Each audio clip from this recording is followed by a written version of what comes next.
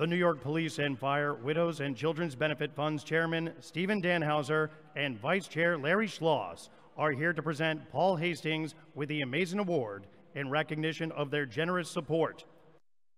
Accepting on behalf of Paul Hastings is their Global Head of Corporate Social Responsibility, Lauren Bruton.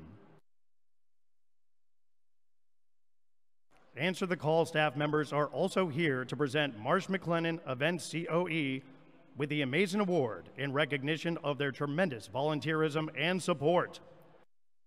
Accepting on behalf of Marsh McLennan Events COE are employees Caitlin Powers, Julie Catras, and Judy Figueroa.